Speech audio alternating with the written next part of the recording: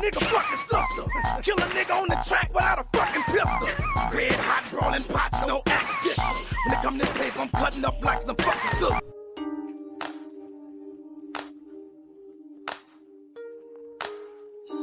Michael Lawrence Tyler was born September 22, 1970. Better known as Mystikal, he grew up in New Orleans, Louisiana, the 12th ward to be exact. His father, he ran a small neighborhood store.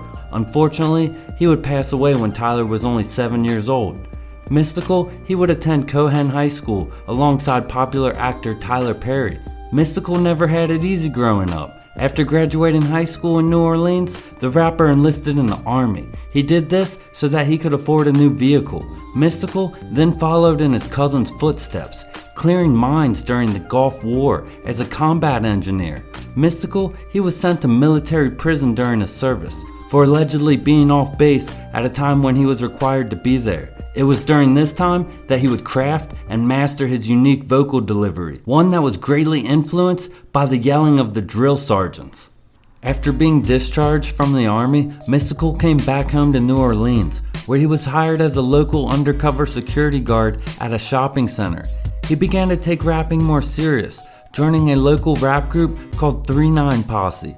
He was then invited to be one of the local acts to open for Run DMC and Dougie Fresh. It was during an outdoor concert at the Theme Center. Leroy Edwards, aka Precise, was in attendance for the show. He was blown away by Mystikal and his sister's performance. Mystikal would perform the song Not That N Word with alongside his sister singing the background vocals. Mystikal was granted a contract right after the show.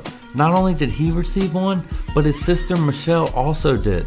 Big Boy Records was also known as the Boot Camp Clique an independent record label established in 1992 by Charles Temple, aka Big Boy. At this time, this was the biggest label out of New Orleans. Rapper Fiend was also signed to the label, and it wasn't long before he and Mystikal would become the greatest of friends. In 1994, Mystikal would finally release his debut album. It was self titled and distributed locally. Mystikal didn't get to enjoy the moment much because on his 24th birthday, he would find his sister dead. Michelle was found in her bedroom, having been stabbed and strangled, allegedly by her boyfriend, Damian Neville, who's also a rapper. He was charged with the murder, but later acquitted due to lack of evidence and a recanted confession.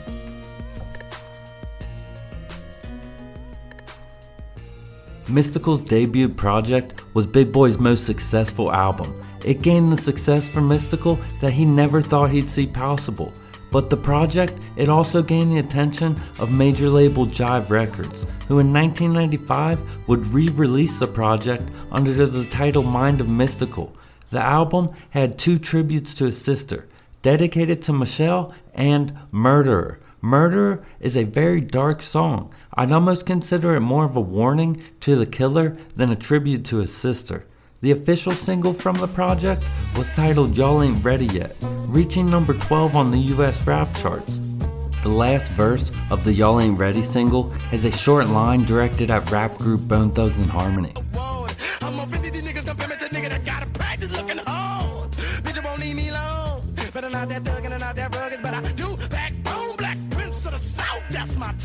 Regardless of what Mystikal may have meant by the line, Bizzy Bone took it as a diss and would respond on the song Let's Get It On.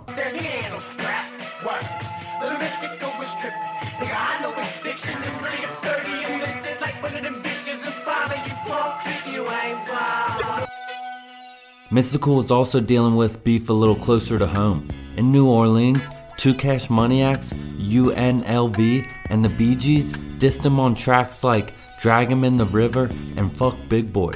He struck back with three songs of his own, Beware and Back from the River, which were both solid diss tracks.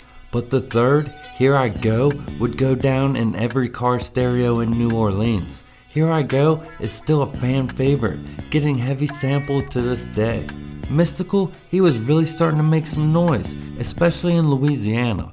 New Orleans, the original home of NBA Team Jazz and Mardi Gras, they were known for music.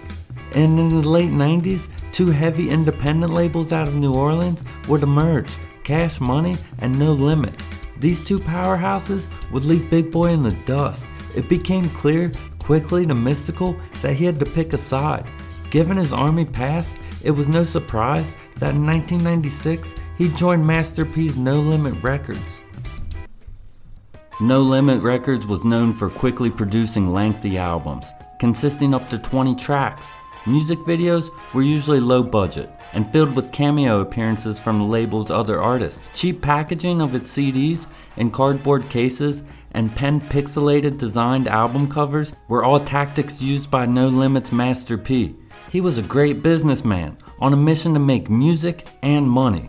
No Limit had a strong roster with acts like C Murder, Lil Romeo, TRU, Mia X, and many more. No Limit was dropping an album a month it seemed like. Mystikal, he was a huge player on the label. He had heavy influence in the company. Don't nobody know that the, the reason when I signed with No Limit Records, the, the first piece to that puzzle, the first piece to the puzzle was that we get a song called We About to Hop Off Some Gangsta Shit. I came up to uh, Priority Records, Master P was like, Mr. wants you on this record. So I came to the, uh, the studio, but you know, I went to the trailer first. I had a big ass cookie jar full of that shit. Full of it. And I told this nigga how much I love him and how I wanted to get down with him. And then we went to the studio. And from that day on, my relationship built with No Limit. And then about two months later, I was on No Limit. So. Unpredictable was released November 11, 1997. It was his second solo album and his first with No Limit Records. It featured production from the label's team Beats by the Pound.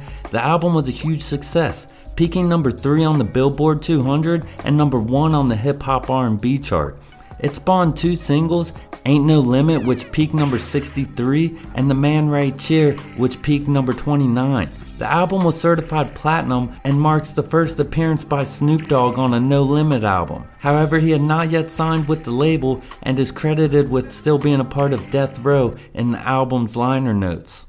No Limit must have had Mystikal living in the studio. After the label discovered how successful Unpredictable was, they wanted him on everything, collaborating on all his label mates' projects, and he was working on his follow up album, Ghetto Fabulous. It would be his third album and the second one he recorded for No Limit. It was released December 15, 1998. That's right, barely a year after his last release.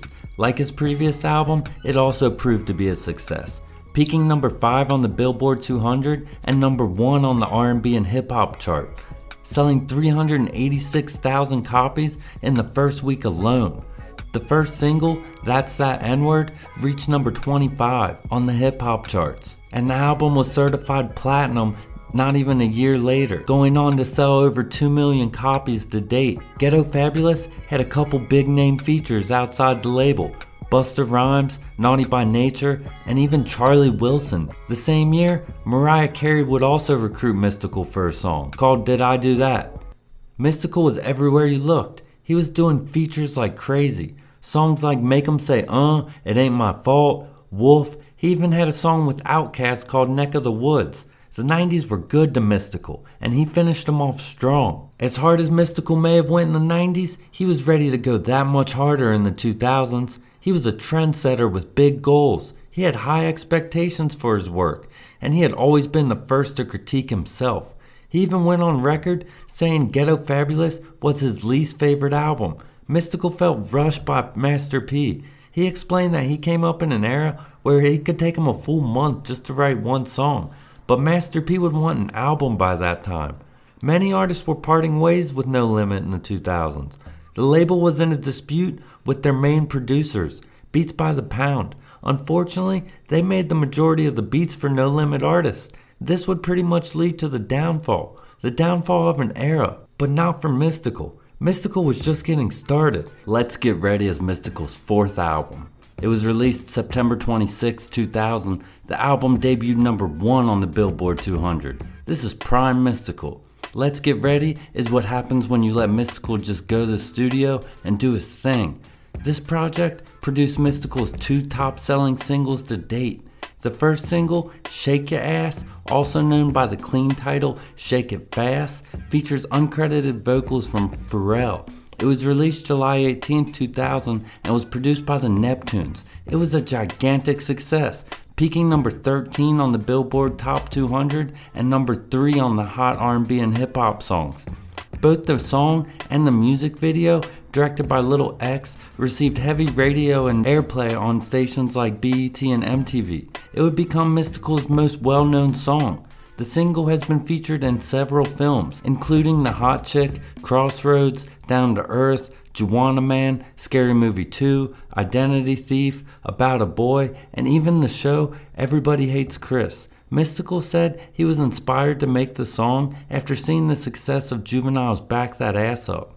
Shake Your Ass was followed by another huge top 20 hit. Danger, Been So Long, featuring R&B singer Nivea, peaked number 14 on the Billboard 200 and number 1 on the R&B and hip hop chart. Let's Get Ready was mostly produced by KLC and the Neptunes. It features collaborations from Da Brat, Petey Pablo, and Outkast. Mystikal's momentum showed no signs of slowing down. On December 18, 2001, Tarantula would be released. This would be his fifth album in five years. Out of those five albums, three went platinum and two went gold. Tarantula would end up going gold, but he received two Grammy nominations for the album.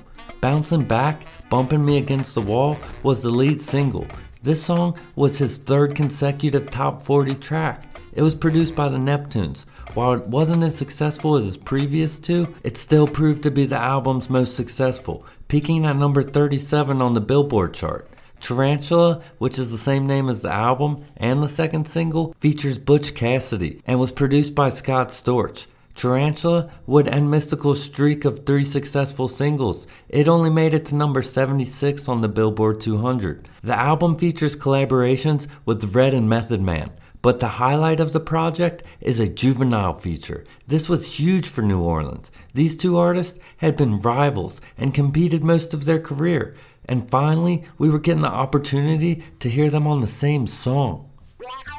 In 2001, Mystikal was also featured on three major R&B artist tracks. He would link up with Mariah Carey again to record a song for her Glitter soundtrack. The song is called Don't Stop and landed number 42 on the R&B charts. Wizzy Wow is a song he did with Blackstreet. The song saw major success in the UK, peaking number 37 on their respective charts. Stutter is a song by Joe, produced by Teddy Riley. Stutter would live at the top spot, being number one on the US Billboard chart for four weeks straight. If you were around during this era, then you're well aware crunk music was taking over. Mystikal style fit the category perfectly. Move Bitch was the fourth single from rapper Ludacris's 2001 Word of Mouth album. The single reached number 10 on the Billboard chart and contains one of Mystikal's most memorable verses. Lil Jon must have noticed how crunk Mystikal can get, cause he put him on a song with Crazy Bone the same year, called I Don't Give a Fuck. In 2002, Mystikal would appear in three featured films, the first being a comedy called Making Baby. Mystikal got the lead role. It was about an inspiring rapper and his pregnant girlfriend. The second movie was called 13 Dead Men. Five million in diamonds. Did the biggest diamond heist in the city's history. Yeah. Well, hypothetically, how big is that? Five million. Five million. Set up for killing a cop. And plus, I took the fall for all you. That's not the only thing that you took. Now he's serving hard time on death row. Spread the word around that Molokai is a child killer. I mean, you. We don't like your kind of here, homie. But his biggest problem isn't the electric chair. It's his old guy breaking in. Let's roll. If all goes as planned, we'll be out of here in, in a couple hours. I want total lockdown. Then check the tunnels. I want to know what the hell's going on. Now it's a race to get to him first All we gotta do is spring Malachi and we're home free. and grab the diamonds. Because if I can't have those diamonds, then no one can. And we're going to finish this right here. Lorenzo Lamas. Mystikal.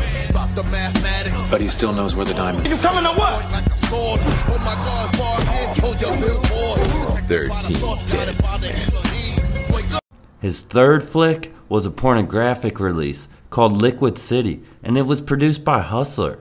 In July of 2002, Mystikal would be charged with aggravated rape. Allegedly, him and two of his bodyguards threatened to turn in one of his former hairstylists. The allegations were that they were blackmailing her for cashing $80,000 worth of unauthorized checks from the rapper's bank account. They threatened that if she did not have oral sex with him, that they would turn her into the police. As the case started to unravel, prosecutors would even reveal that they found a videotape of the assault. After numerous meetings with the prosecutor, Mystikal and his lawyer were able to whittle the charges down to sexual battery in exchange for a guilty plea. On June 26, 2003, Mystikal pleaded guilty to sexual battery and extortion. Mystikal had been arrested in the past, but had never done any real time. Back in December 98, he was arrested on gun and drug possession. The firearm ended up being registered to him, and the drug charge was just over a joint of marijuana. When it came to sentencing for this sex charge, Mystikal didn't know what to expect. His attorney informed him that it could be anything from just probation to 10 years imprisonment. The outcome ended up being Mystikal sentenced to 6 years in a state prison. He also had to register as a sex offender upon his release. This was not a good look for Mystikal's career or his overall character as a human being.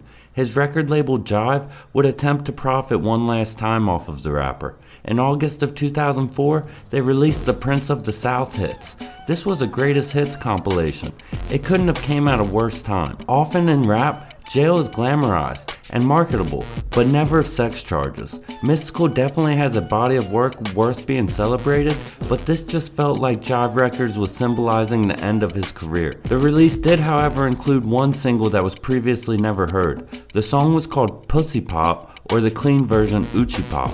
In August 2005, while incarcerated, Mystikal was charged federally with two misdemeanor counts of failing to file tax returns for the years 1998 and 1999. And on January 26, 2006, he was convicted on those tax offenses. The outcome of the case would result in one year to run concurrent with his six year state sentence. He was fortunate for that ruling. What was unfortunate was that at that time Mystikal was up for parole the following year, 2006 which would ultimately be denied. Had to be God. I, I, I couldn't have done that. You know, when I when I look at it now, it seems like it was easy because it's over with. Going through it, oh man, it was tough. It was tough. You know, I just had to get out, get out of my way and let God handle that for me. He walked on down with me. Right, that had his arms wrapped around me tight, and here I go, baby. You see, that's what a lot of people don't know about me, man. I, you know, I ain't got no big head. You know, it's just, it's one of those things that happen. You know, I just took it in stride, man. You know, it was tough to take it in stride because it always worse. And then that, especially, uh, after 1994, the death of my sister, man, nothing to be that bad. So that, you know, it was cool. And then, uh, so the Slim had just died, so I still was kind of grieving him and mourning him. Right. So, you know, I was kind of numb. You know, it was, man, it was a lot of things. So I was gone so long, all the things I achieved and all the escalades I have, you know, attained, felt like it was a dream, man. You know, felt like I had never done that stuff, man. But watch how I shake this world up now. January 14, 2010, Mystikal was finally released but he was far from free. He was still on probation and had to register as a sex offender. His first song after being released was an underground track with his longtime friend Fiend.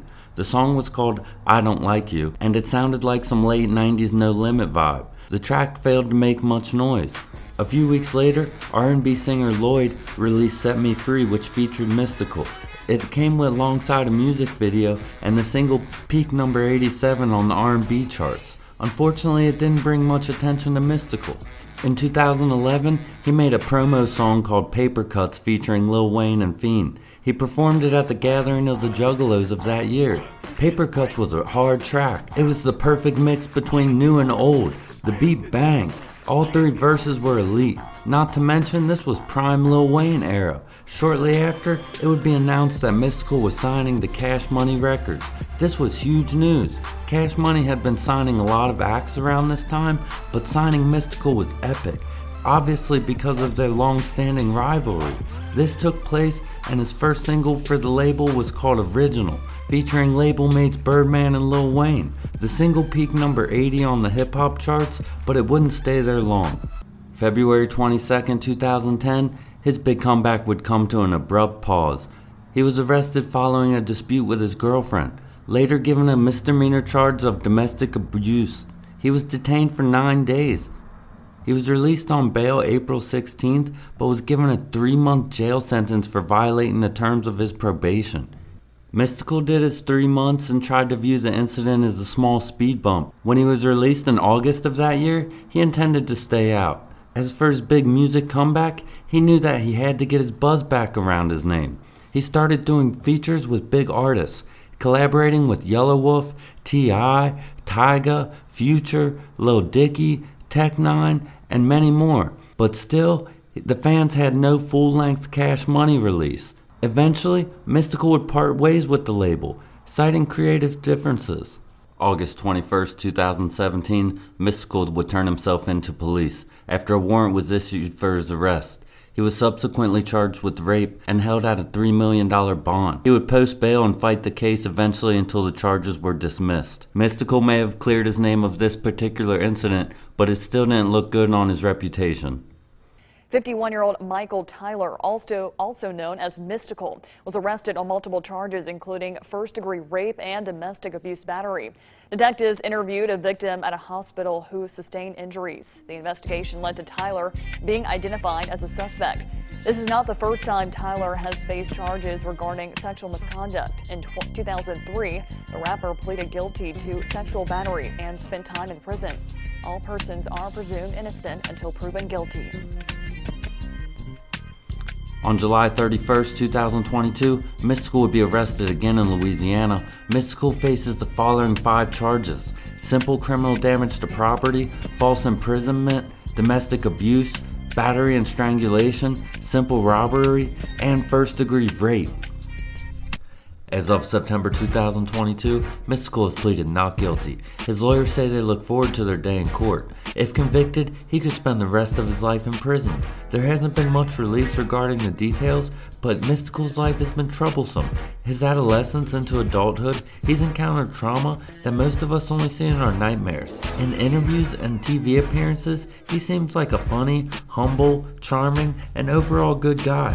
A man who has made timeless legendary music. Is there something that's missing in the mind of Mystikal? Something that's causing him to do these horrific crimes to women? Or have all these been false allegations to profit? Certified prime kicker, big thick, big thick Sam. From out that river with that from out the river. I went from gold teeth to gold chains. I went from Club James, Soul Train, fighting like I got pip on the record. High step, keep you keep your neck jigging like a mad woodpecker.